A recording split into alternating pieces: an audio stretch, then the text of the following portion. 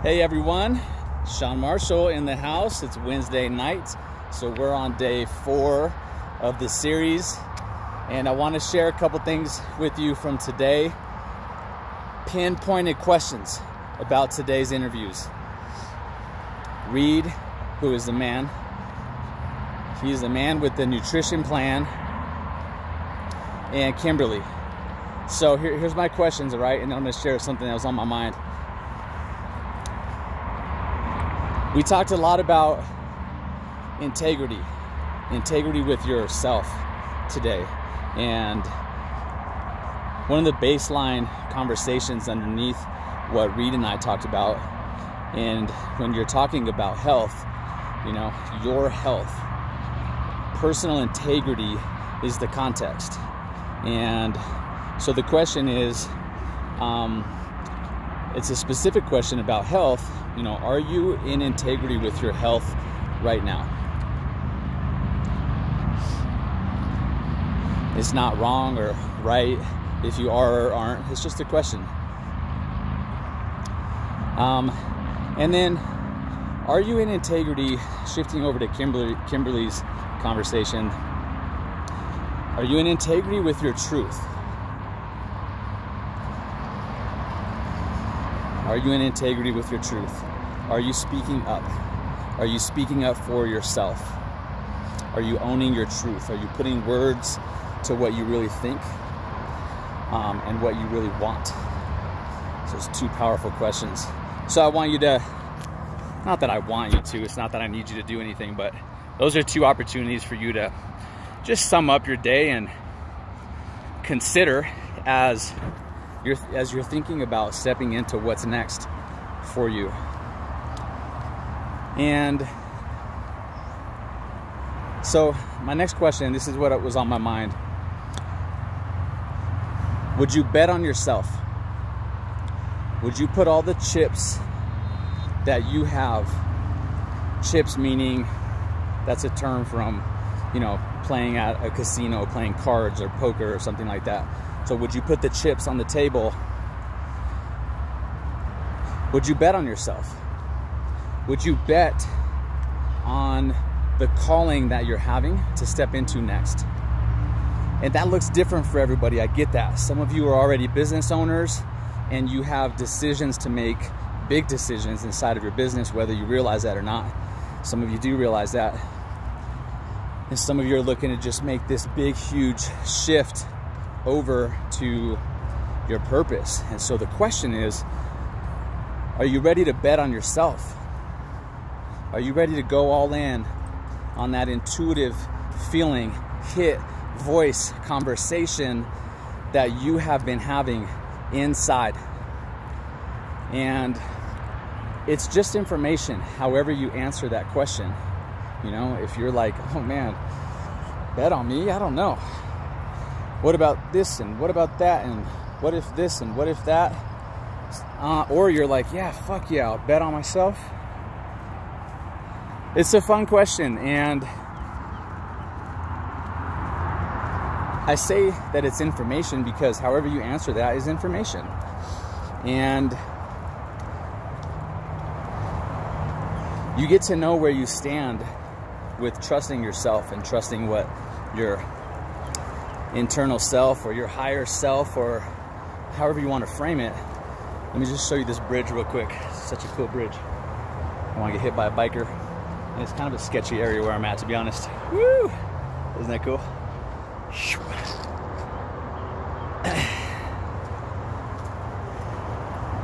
homeless folks hang out. Speaking of homeless folks, gotta watch my back around here. Um, so would you bet on yourself? So let me share a couple, let me share a little something. Just about myself. You know, I bet on myself. I've gone all in betting on myself several times. Big, massive bets where I bet it all.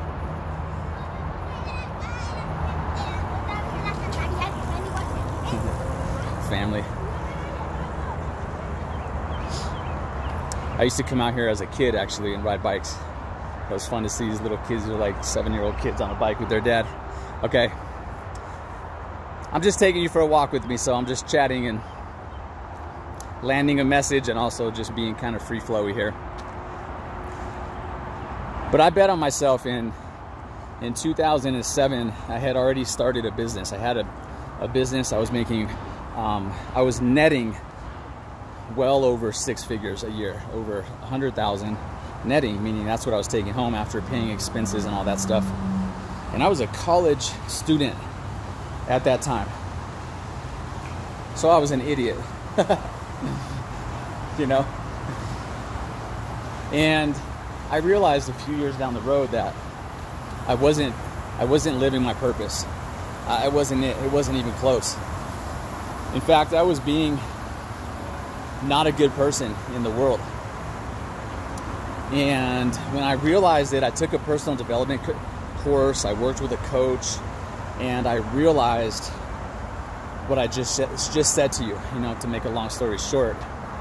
And you know what I did? On Sunday, the course ended on Sunday, and on Monday, I uh, I sold my share of the business. I had a partner.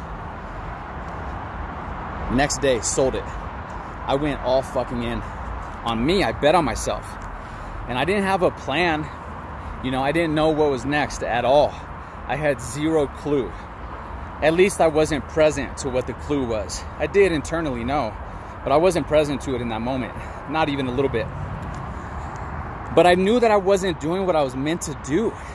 And it ripped me apart. Absolutely ripped me apart. Couldn't do it anymore. I walked away from that lifestyle. I know it's a loaded way to say it. Um, conversation for another day. And I said, I'm to figure it out. But this just isn't the life I want to live. So I bet on myself. And you know what? I had property, I had a mortgage. I was uh, very centered around materialistic things. I had, this is silly, I had seven cars at the time, you know, because those were the things that I really valued at the time and I got rid of them all. Just got rid of them. I had Impalas, I had a Nova, classic cars worth all this money, and I, I had a show car. I like gave it all away, literally, because I didn't care about it anymore. I just didn't care about the money and what all that represented. It was all ego. So I took off to Peru, hung out in Peru for six weeks and I asked myself a question every day What do you want? What do you want? And it took me a month of that, of ignoring it. I said, What do you want? And this answer came up, and I said, That's not it. Next day, That's not it. Same answer every day, and I ignored it. I was terrified of it. And I finally surrendered at Machu Picchu. That was one of the first times that I really got spiritually connected if you've ever been to Machu Picchu, you probably know what I'm talking about. I surrendered. I was like, all right, that's what I'm going to do.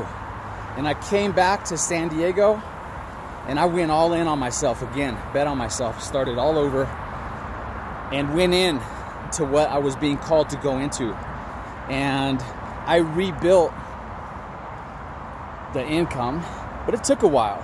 You know, I was texting with someone today and I was saying, look, you don't have money, I get it. Uh, there was a point in my in that transition where I was buying dinners and lunches at the dollar store. Literally. I was buying, you know, one dollar enchiladas at the dollar store because that's all I could afford, and that was even a stretch. And I made ten thousand dollars that first year. $10,000 in San Diego when you have property and you had a lifestyle of well over six figures. That's a that's a different position, right? So I bet on myself though. I've always had the confidence uh, to bet on myself. I know that I'm going to be okay. I know that. I know. And it's not a knowing that just in the future I'm going to be okay. I'm okay right now even if I'm going through a difficult time, right? Because that happens. I always know underneath it I'm okay. I'm, I'm okay and I'm going to be okay. Things are going to work out. And they did, they do. And it's not, it's also not an ending point. Because I bet on myself again last year. I'm gonna cut this here and not tell the next phase of this, but I bet on myself and took my business online and uh, in a matter of three weeks sold everything I owned and bounced away from San Diego, the city I love, still love. It's great to leave a city on a high note, by the way. And I just, I wanted to go on this adventure. So now I'm on it. You know, almost 11 months in a new city, and I'm still uh, open to going someplace else. Costa Rica has been calling me, so I'm going there in July for a few weeks to go check it out. And I started a new business. I went, I bet on myself again. And when I bet on myself, I go all in, all chips in. So, and that's just how I operate. Doesn't mean that you operate that way. Doesn't mean you have to operate that way. It just is a question of are you ready to bet on yourself yet? And if you're not, then let that be your beacon. Let it be your beacon. Ask yourself that question every day. The one I ask myself, what do you want?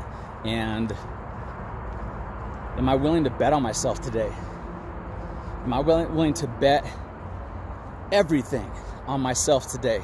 Am I willing to go all in on myself today? And just listen to the answer and be honest about the answer. It may be no. Just like when I said, What do you want? the answer came, and I was like, Nope. I was terrified of it. I didn't have confidence in myself to do that thing. So, but ask yourself that every day. It's a way to check in with yourself and you have a beacon. When you're able to say with all your heart and soul, I'm willing to bet on myself today.